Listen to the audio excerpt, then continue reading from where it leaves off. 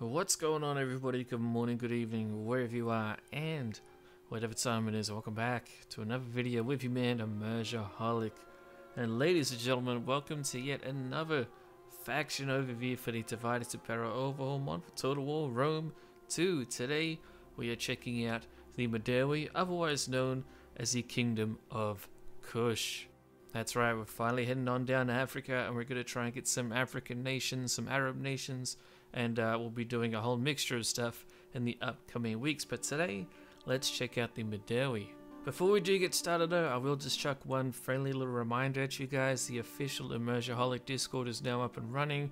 We've recently just determined what our next major campaign uh, faction will be. So if you are interested in seeing what's coming up, head on over there now. There will be a link in the description. Feel free to use it, come and join in, say g'day, and hopefully we can even organize some online battles.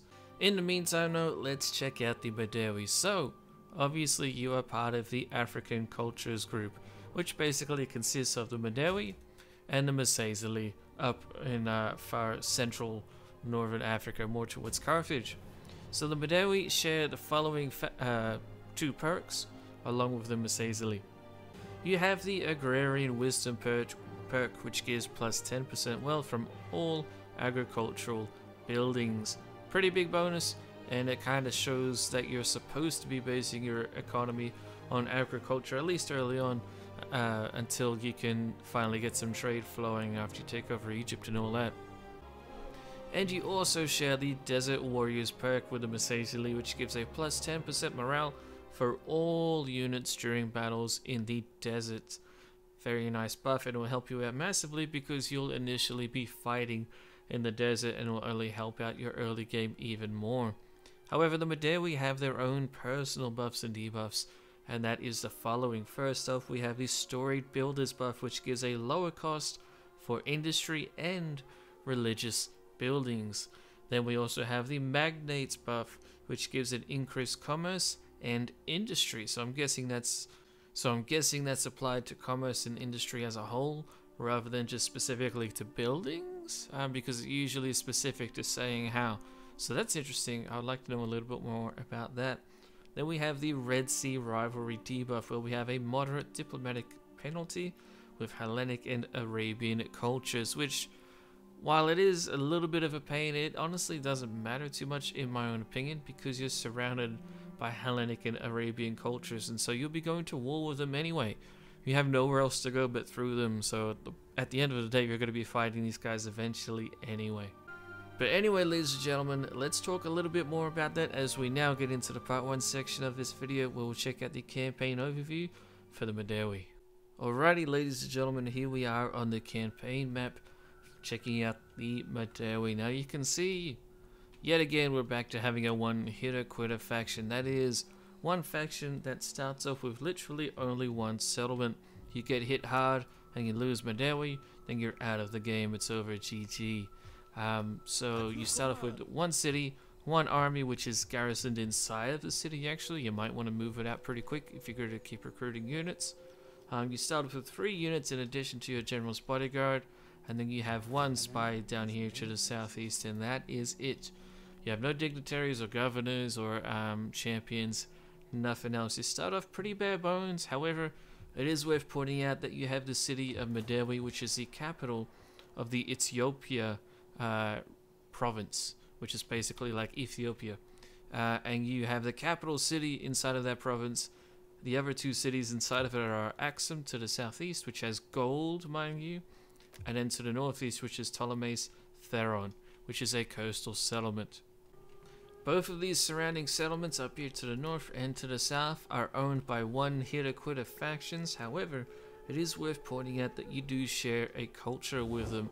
If we go to the screen here, we'll see that you are considered to be Egyptian or you're part of the Egyptian culture, as are the Axum to your southeast who are Egyptian, and the Blemye to the north are also Egyptian. However, you cannot make a confederation with them. I'm not sure why, but you just can't. It's not an option uh, you're not considered to be of the same blood, which is actually the first time I've seen a faction with the same culture not able to be uh, joined in confederation. So I wonder if it's something specific for Egypt, because even Greeks have that option. So That's very interesting. I wonder what is going on there.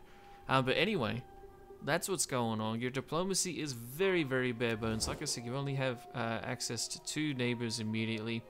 Uh, you do have the Himyar to the east who you have diplomacy with. However, they don't like you because they're an Arab faction who are automatically going to be a little bit uh, less keen to have any diplomatic relations with you. And then the Hellenic factions, which are actually to your north, up here, up in Egypt, they also will not like you once you discover them, which you will discover them once you take the cities surrounding you, which should basically be your first 10 turns. You should have both of those cities uh, under your control directly within the first 10 turns, in my opinion. So that covers your pretty bare bones diplomacy. Obviously, because you're in the corner of the map down here way in the south, you have to attack all of your neighbors and start expanding either north, uh, north, northwest into Egypt, or you could go across uh, the sea here and go into Arabia if you so wish. Uh, in my opinion, it's a no-brainer. You go up into Egypt and you get one of the most powerful provinces in the game. However, it's up to you and it's up to your playstyle, of course. Uh, then we need to talk about resources though, because like I said, down here you have gold available in Axum. If you go to the east, you actually have trained slaves available. I think if we even go to diplomacy, we can see. Yep, the Himyar here, the, Mam the Mamlakat Himyar are producing trained slaves, and then there's more resources in Arabia as you go into it, which is very exciting. Uh, up to the northwest, as you start going up into Egypt, or mainly just into the north, uh, you'll see iron around here, I believe, and then you go up here to around Memphis, and you should have grain, possibly even fish here at this coastal settlement, and then you have Alexandria up here, Jerusalem, Tyros, which is actually really good for resources. Then you have all of Libya to the west as well. So basically, uh, in the direction that you're probably going to expand, which should be the north, you will have insanely good provinces to take over and start getting your economy rolling very early on. So basically, if you can take over Egypt, which that should basically be your goal to do within the first 50 to 60 turns, in my opinion, if you can do that, take over Egypt, you will have lots of money flowing in, and your economy should be laughing. You even have that small 10% benefit to agricultural income, which will be massive considering you're probably going to be taking over Egypt and taking over its agricultural industry, which is pretty massive and probably and probably the biggest thing about the province of Egypt itself. So we've talked about trade, diplomacy, and a couple uh, hints and tips already. But there's a couple more things that we need to cover. First off, Medewi, despite it being only one city, actually has some very nice AOR units available to you on turn 1. For example, you have the Ethiopian Horseman, very fast, very lightweight, but still good uh, melee cavalry unit. Definitely want to try and use that as much as you can. And as you go up into the higher tiers of your city, you then get access to uh, Blemyi's uh, archers. Not amazing, but it's nice to have that flexibility there. Then you go up to the next level, and then you have four units of AOR units. You know it's an AOR unit when you see this little black flag symbol here. You have African elephants, and noble axemen of Axum. Uh, you have Ethiopian Ethiopian axemen. Then you have Nubian archers, which are actually pretty good because they have a very good range of 175, which is pretty solid. And they're also, uh, oh no, they're not. It doesn't list it anyway. I thought they were good at stealth, but they don't have it listed. So straight away, you have some pretty nice AOR units available and you'll only get more as time goes on. Plus, you also have some good mercenaries. You have the Ethiopian mercenary spearman. You have the uh, African mercenary elephants available in turn 1, which only takes up 36 manpower, by the way. And then you have Ethiopian hired archers, which also have the range of 175, which means that your archers, if you do recruit them, will be very nice and useful for you to force the enemy to basically attack you whenever you wish. Next point then is of course population. Now the population for the Medewi should be pretty straightforward in my opinion. Um, they're not in a bad situation at all, although they're not in an amazing situation because you only have the one city. If you can take multiple cities fairly quickly, then you'll have a larger population to draw on from. In fact, on turn one we can see Ptolemais Theron has 20,000 people in it. And then to the south here, Axum has 20,000 as well. So that's not bad at all. Medewi itself has 25,000 available. Um, so while it's not amazing, it's definitely not going to be a problem unless you really just throw away your armies and don't pay attention at all to your mercenaries. Um, and I say it's not a problem because you also have pretty good low tier units. Um, for example, this Ethiopian swordsman unit, it's pretty low tier, uh, but it comes from your commoners population, which is 16,000 on turn 1. This is turn 1, ladies and gentlemen, not actually a few turns into the campaign, like how it sometimes is. Uh, and this unit's pretty solid. It's not amazing, but it's very effective and you can definitely use it to do a lot of work. Uh, you have the Kushite Painted Warriors, which also come from the Commoners social class. Not bad at all. Uh, you have uh, Meroitic Spearmen, which are also the same. Your Baggage train is the same. However, your Ethiopian Horsemen come from your Warriors social class. Your Warriors social class is where you basically need to be a little bit more cautious but not really all that much. And because you're taking over cities that share the same culture as you, Axum, uh, Ptolemais, Theron, and up into Egypt, uh, you'll be getting massive population recruitment centers, especially once you take over Egypt.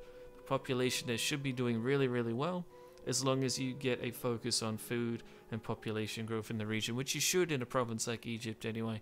But that's kind of like a guide or a tip for another video entirely. And then the last thing to say about the Medewi is that they do not have any reforms. I usually talk about the reforms in the verdict section of this, video, but I thought I'd throw it out there now before we get into the military. This is the first faction I've covered where they actually don't have a reform. Uh, at least not yet at the time of this recording, which is the 1.2.7b patch for DEI. might change in the future if you're watching this far off, but if any major changes happen to these factions, I will uh, like faction overview updates, and I'll post a comment down below with a uh, link to that update video. But so far, we haven't had to do that, at least not yet at the time of recording this. But unfortunately, that's all I have to say about the campaign situation for the Medewi. It's looking pretty good, fairly nestled and safe down here in the far south. And uh, all of the other factors I talked about are looking fairly promising for you. You're just going to have to have a fairly aggressive start. If you can do that, then things should be pretty cruisy for you for the rest of the campaign. But anyway, we'll talk about that in the last section of this video. Now let's go to the part 2 section where we'll talk about the military of the Medewi. Alrighty, ladies and gentlemen, here we are at the part 2 section of this video. Let's talk about the military of the Medewi. Now, once again, before we get into the land units, I will just state that it's not worth checking out the naval units of the Medewi. Unfortunately, they're pretty terrible, and uh, they basically fall into the category of having barbarian-style navies, or a navy where um, they only have a couple different types of units. It's not really worth discussing, and their ships are all low on HP. But anyway, let's talk about the land units. This is where it all matters, really, for the Medewi.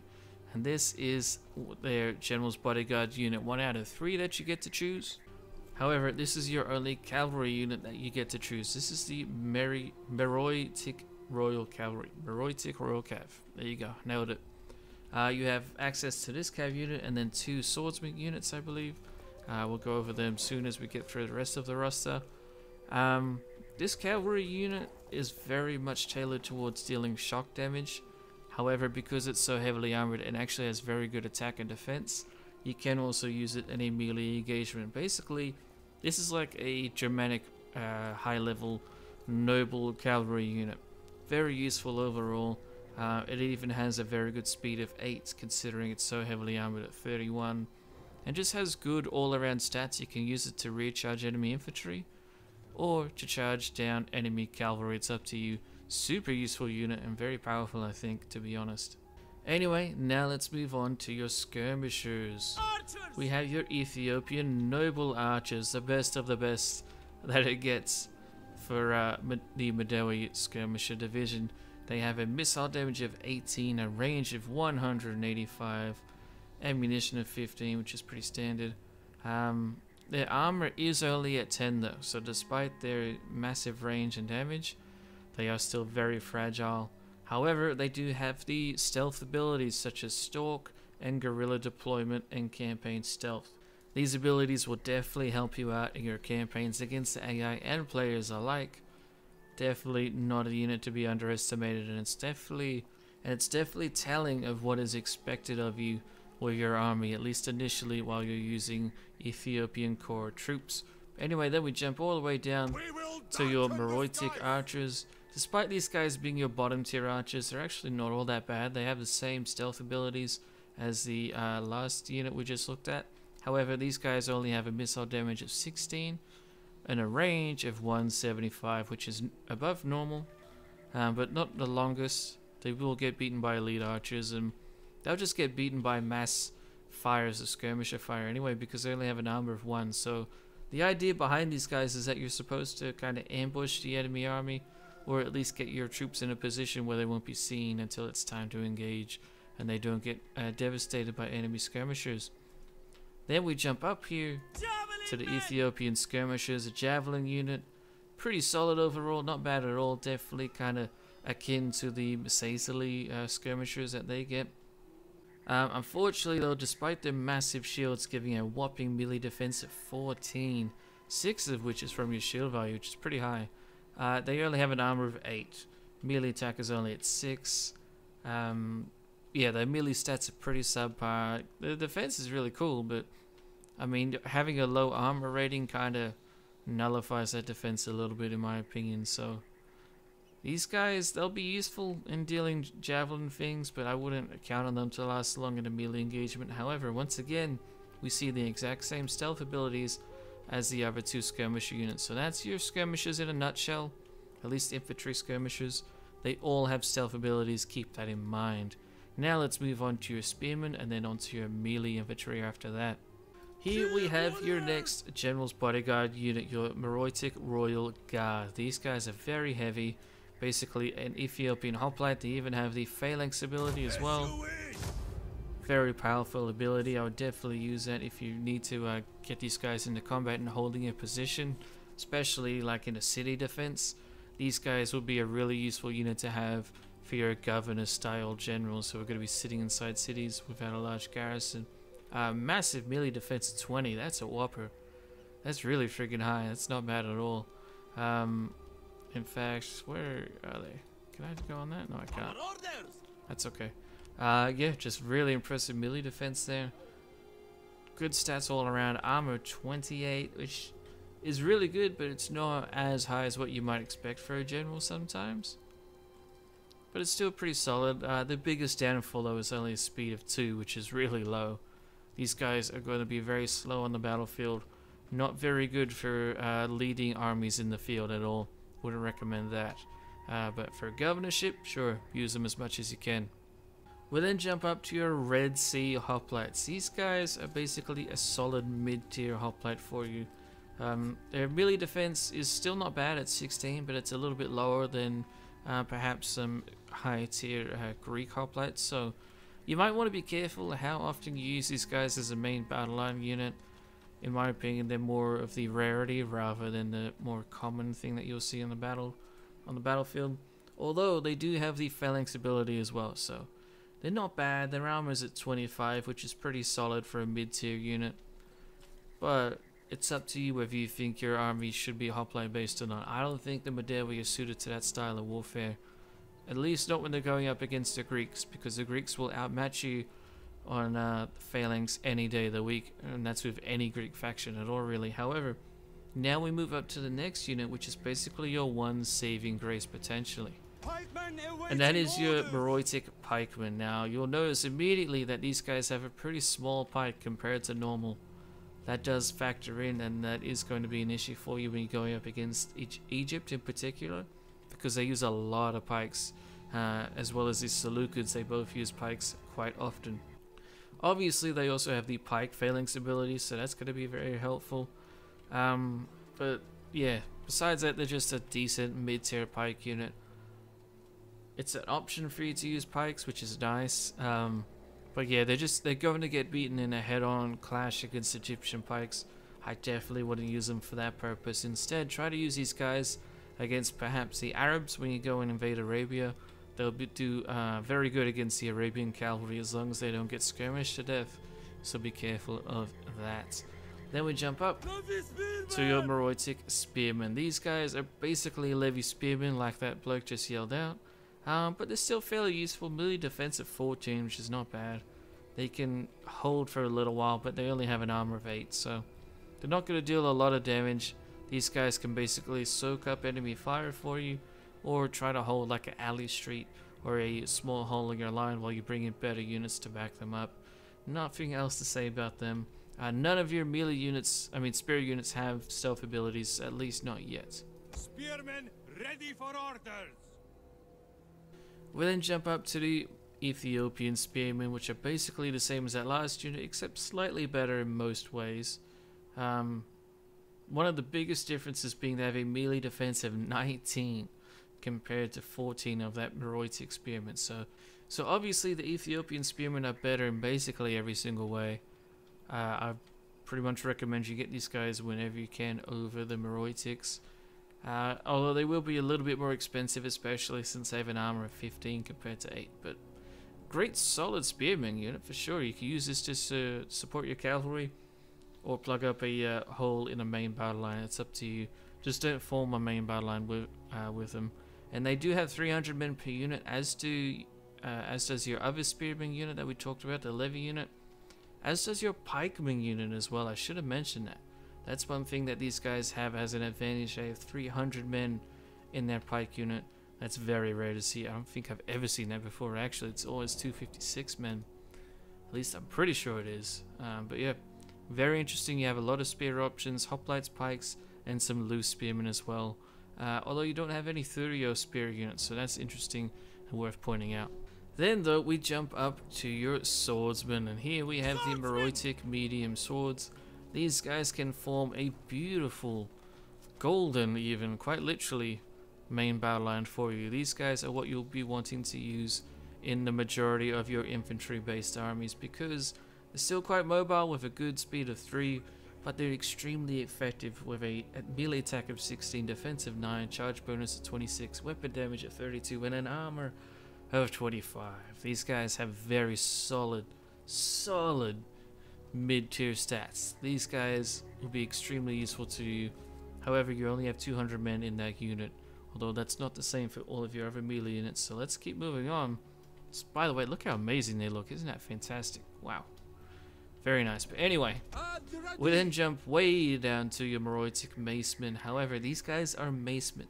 So despite them being pretty kind of levy-like with only 8 armor, 300 men in their very loose, disorganized unit, they have a high damage. They have a weapon damage of 18, plus a melee armor piercing damage of 13, bonus versus infantry of 2.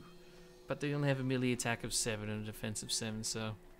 Even though they have really good armor penetration, um, I wouldn't use them much at all, to be honest. I really would avoid them at all costs. Try to get your mid-tier swordsman instead. Uh, or your other axeman units, which we'll talk about momentarily anyway, so... Avoid this unit, in my opinion. They're not needed. And then we move up to the Ethiopian Axemen. Now these guys are some of the best shock infantry that you get access to, if not the best. Am I right in that? I think I am right. Yeah, I'm pretty sure this is your elite tier Axemen unit. Uh, and these guys are friggin' fantastic. Super high melee attack of 17, charge bonus of 36. That's higher than some cavalry and on par with most low tier cav, which is insane. Melee armor piercing of 13, uh, combined with a general weapon damage of 25 is astronomical. That's 38 total potential damage done to an enemy unit. Armor at 28, base morale 46. Uh, I'm pretty sure I covered these guys in the top 5 uh, shock infantry video that we did. Well, not top 5, sorry, just top X number that we did for the shock infantry. And I'm pretty sure these guys were counted among being some of the best in the game.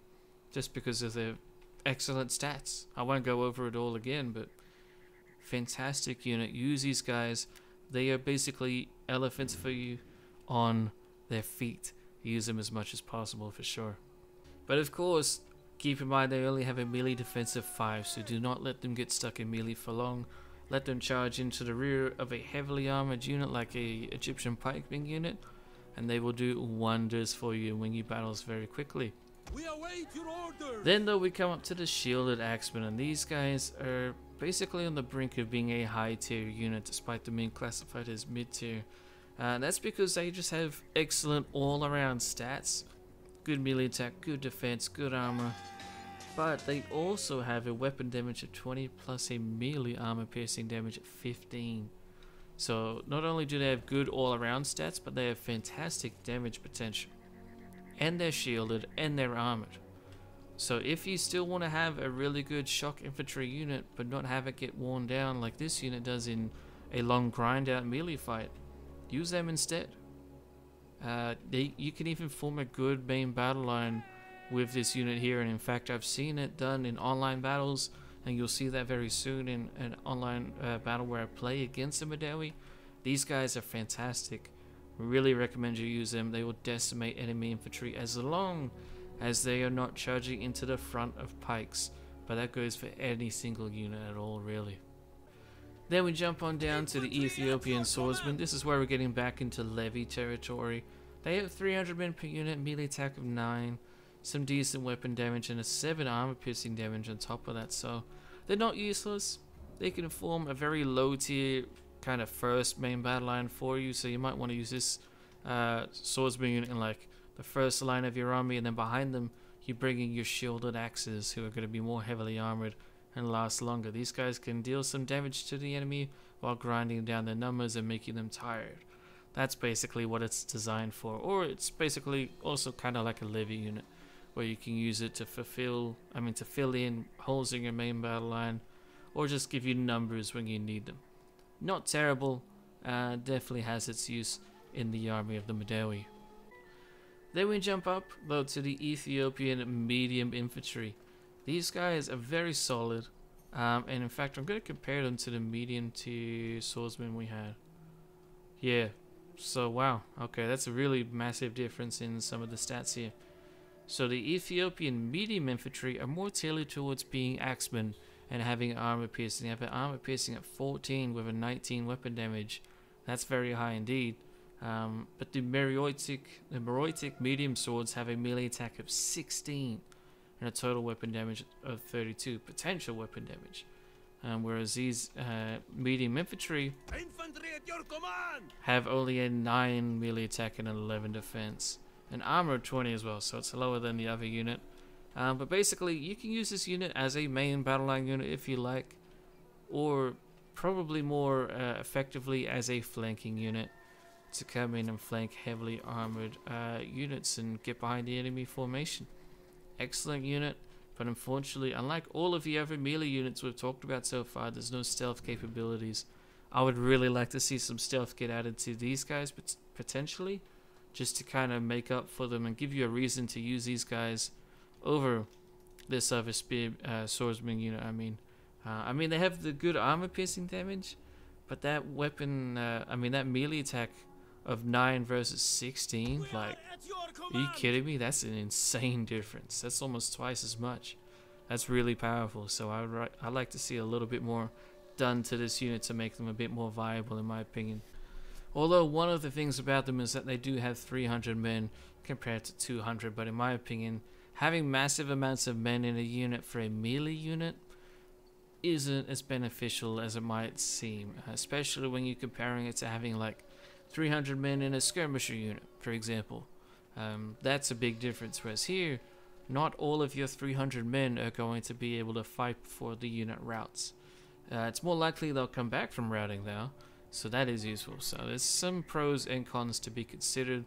We await Then we come down to your Kushite painted warriors. Um, these guys are interesting. They have a very high uh, armor piercing of 16, but the weapon damage is only at 15. But then you compare it with your other stats that you have for it with a melee attack of just 7.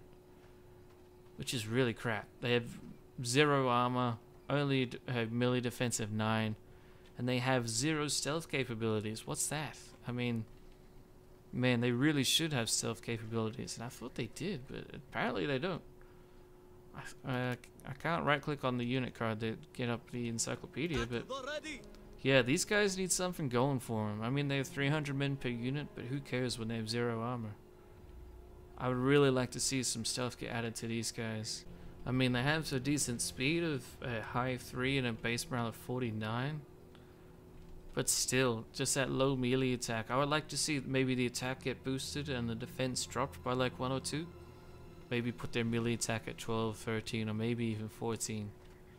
So they're useful, but they're definitely weak still, at least to skirmisher fire and whatnot. So that's kind of a weird unit. I would love to uh, hear some more info about it in the comments. What you think about the Kushite Painted Warriors? Give me your opinions, please. But anyway, that's it for your infantry. Very sword focused, or very axe focused, I should say. This is definitely, basically, the main faction in DEI that is focused solely on armor penetration. There's very few units that do not have AP damage. Uh, so that's really interesting and unique. And that's one of the things you need to really keep in mind when you're doing online battles against the Medewi, as you will see in my online video I'll be posting in the next coming weeks. But now, getting to the cavalry, we have one single unit of skirmisher cavalry, which is your Ethiopian light cavalry. These guys are definitely not amazing. Um, they're kind of similar to the Numidian skirmisher cav in that they're very fast um, and they have decent melee attack stats of 11, defensive 8, which isn't terrible. But they only have an armor of 11, uh, ammunition of 9, so they're a decent little skirmisher cav unit for you. You can use them to chase down light infantry like skirmishers very easily too, so I would definitely try and do that with them. But they're going to be very uh, susceptible to missile fire and long melee engagements against other cavalry, so definitely don't want to use these guys as your main melee cav unit. Instead, let's move over to the melee cav category. Well, it's actually more so the shock cav, um, because you have dedicated shock cavalry and not really too much else. Now, I do only have two cavalry units here, but do keep in mind we have the General's Bodyguard, the Meroitic Royal Cav, which you can recruit as a unit in its own right. Um, so we should technically have like three units here, uh, but I'll put that General's unit to the side. In the meantime, though, we have the Ethiopian Lancers, and this is your low-tier shock cav unit that you get access to. And that's kind of funny to say because they're really not bad at all. This is a good medium tier shock cav unit, an armor 23, melee attack of 12, charge bonus of 40, high speed of 8, and a decent melee defense of 9.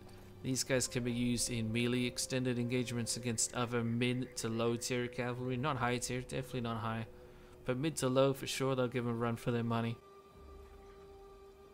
But of course, most importantly, uh, Lancer style cavalry are always going to be best used in recharging the enemy. But then we upgrade a hell of a lot to the Ethiopian quilted cataphracts. Now these guys have some lower stats in some respects. For example, the first unit Ethiopian Lancers has 12 melee attack, this only has 10. But we're also going up to a charge bonus of 48. A weapon damage of 27, although only an armor piercing of 5. By the way, the Ethiopian Lancers apparently have 12 armor piercing damage, so that's actually pretty powerful. You might want to use those guys instead of the Quilted Cataphracts here, if you're going up against factions that have a um, that don't have skirmishers, or at least not as many, because your Cataphracts are going to last longer because they're so heavily armored at 41. That is the massive difference between these two units, the armor. Um, but then the Ethiopian Lancers have the AP damage, but these guys have good general damage, good defensive stats as well. Basically, you can use this unit as a melee cavalry unit or as a shock cavalry unit, and it's very high tier just because of the armor, basically. Melee attack and defense are pretty fine, they're good, but they're not insanely elite, and they'll get beaten by elite uh, Hellenic cavalry, so be careful of that. But uh, they look pretty insane now. It's looking very nice. I love the quilted look. Look at that scars on that dude's face. He's keen. Very awesome looking unit. Um, so yeah, that is it for your cavalry. Unfortunately, now we move on to your specialist units. First off, we have the single unit of elephants in your core roster, which is the African elephants. Extremely basic, the most basic bottom tier elephant you can get. Um, but a bottom tier elephant is still an amazing unit. Definitely can win you some massive battles and campaigns. However, the Seleucids have better elephants, the Indians have better elephants, and you'll probably end up fighting both of them eventually. Or at least people who can use their units eventually, so... Keep these guys away from the bigger elephants. Use them purely to recharge enemy infantry formations or get involved with cav, but because they have no armor at all, these guys will die to cavalry charges as well as skirmisher fire. So that's definitely something to keep in mind when you're going into a battle. These guys can be powerful, but you really got to protect them. Keep them at the rear of your formation until you're ready to use them. Unfortunately, though, that kind of continues for your Booroitic chariots. These guys are very lightly armored with just an armor 23, and chariots in general are very susceptible to skirmisher fire. It's one of the biggest reasons I generally don't recommend you use chariots unless you really can't get anything better, like any better shock cav like cataphracts or elephants.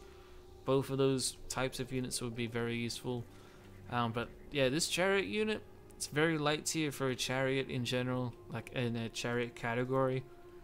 Despite its decent stats and other things regarding weapon damage and stuff, its health and armor is just quite low, and that makes it quite risky to use. So you can try and use them in your army, and I'm sure you could do well if you micro it well enough.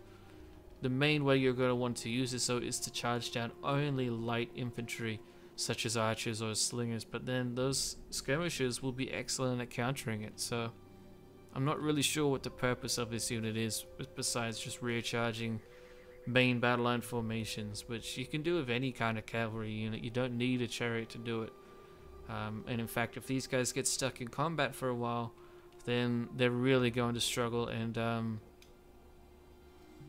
die quite quickly. But you do have a lot of, you have 50 men here in this unit, and that should be 50 chariots in because it's only one man per chariot. So very interesting. Um, but it's not my cup of tea. I really don't recommend using chariots, so I need to try more. So perhaps I could be converted to the chariot side of things. But anyway, ladies and gentlemen, that is it for the Medewi. They have a fairly small, concentrated roster, but it's not a bad roster. It's very unique in that it's focused heavy on shock and armor piercing, which is not something you can say for really any other factions, at least not to the degree that these guys are. Uh, and they have amazing archers, so keep that in mind as well. But anyway, now let's move on to the part 3 section of this video where we'll talk about the verdict of the Medewi. Alrighty ladies and gentlemen, here we are at the end of the video the verdict for the Medewi. Now, this is basically going to be a reiteration of just a couple points, and then I'll give a final uh, difficulty level rating. But the uh, main thing to understand, in my opinion, is that your early game is going to be fairly easy. You're bordering two one-hitter quitter factions. You have more one-hitter quitters in Arabia if you want to go over there. And then besides that, you need to take on Egypt. It's one of the few instances in DEI where your future is basically predetermined. It's very hard to go around Egypt and ignore them. And basically, you don't want to do that anyway. Because Egypt is such a powerful province and region, economically, uh, agriculturally, and population wise, it can give you a lot of different things. Take over Egypt, be nice to the population when you do take it over, and you'll be able to recruit massive armies. And uh, the province is very large as well, so it has a lot of cities that even give you more benefits if you can min max them appropriately, of course. But that's the first main point. Your early game should be pretty easy, although you'll basically have to fight Egypt, although it should be up to you when you do so. But then the result of taking on Egypt is that the Seleucids will love you for it. So that means you only have a major power in the region, which is the Seleucids, should be pretty friendly towards you, even though you have that Hellenic disparity in diplomacy. That shouldn't matter too much because you're dealing so much damage to the Egyptians that will love you. Get non-aggression, get an alliance with them if you can, I think you'll have a super easy campaign on your hands, but we'll talk more about that shortly. Next point though is to keep in mind when you're going up against Egypt and other Hellenic factions such as the Seleucids or Macedon, Pergamon, etc., Bactria as well, you'll be going up against pikemen. Pikemen are the bane of literally any other infantry, or at least melee infantry unit in existence. Do not let your guys fight them in a head-on collision, there's no need to, especially if you're just playing against the AI.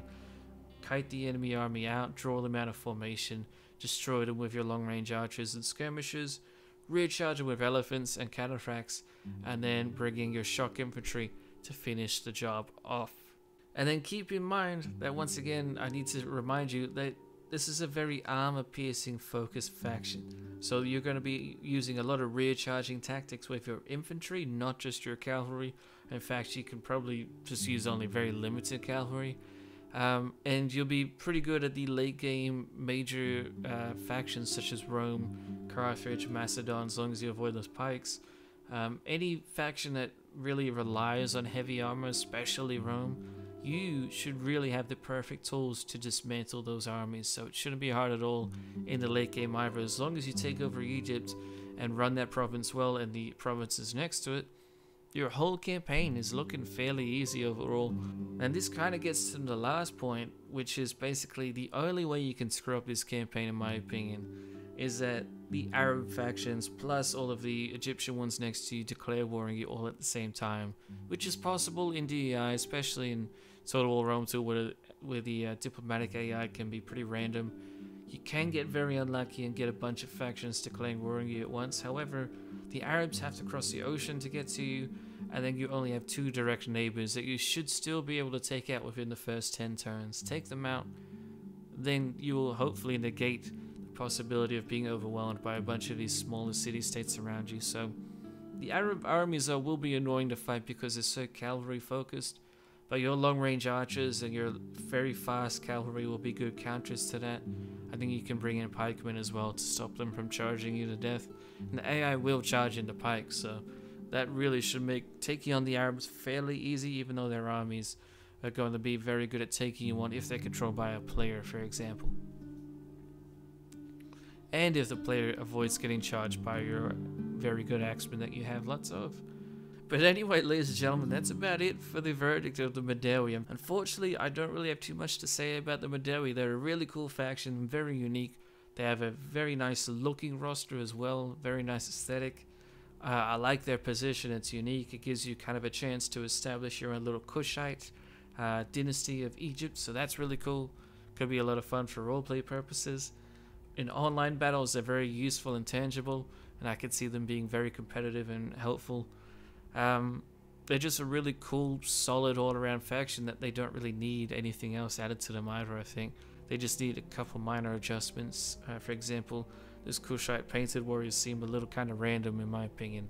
Uh, they need to be a bit more specialized. But now it brings us to the difficulty rating. Now, I've said a few times that this faction seems like it should be super easy. Um, and to the average DEI player, I think that's true. However, I'm still going to go for just a 3 out of 10. This is a easy faction in my opinion. Instead of going for very easy, which would be a 2 out of 10, I'm just going for a fairly even 3 out of 10 because if you're a fairly casual DEI player, this roster will be very different to you. You won't be used to having so many shock infantry units at your disposal. And while they should be in theory pretty easy to use, because you have to take on the pike heavy factions of Egypt and maybe the Seleucids, you can definitely struggle to deal with those Hellenic and heavy armies early on. Um, but yeah, that's for just like the most basic kind of casual DEI play, which is what these faction overviews are tailored for, really, because it helps you figure out what faction you want to play and it might help you get an idea on how to play that faction as well. But anyway, ladies and gentlemen, I do hope you guys enjoyed this faction overview. It's a little bit shorter than normal. Um, but if you do have any questions, feel free to post them down below and I'll do my best to answer them as always. And then it brings me to the final point of this whole video though, which is to actually give out our very first credit and thank you to my man HK for becoming our very first member of the channel for committing and joining the channel. So that's super kind of him. If you yourself are interested in becoming a member of the channel, you can click on the join button down below underneath this video. It should be on the bottom right hand side of the video. You click on the join button and then it will have a list of perks and benefits of becoming a member. It's not a massive list and keep in mind I do just do this as a hobby. But if you would like to help support the channel monetarily, which would help me uh, get better equipment and more games to make content on, it would be highly appreciated, but it is never expected. And if you don't uh, become a member, that's completely fine. You won't miss out on any content from the channel. Although if you do become a member, there are a few thank you perks uh, that you will definitely get access to. So go check that out in case you're interested. If not, no problem at all. But anyway, please leave your comments down below on what faction you would like to see next. Don't forget to join the official Immersaholic Discord. And thank you all so much for watching. I hope you guys enjoyed and I shall see you in the next one.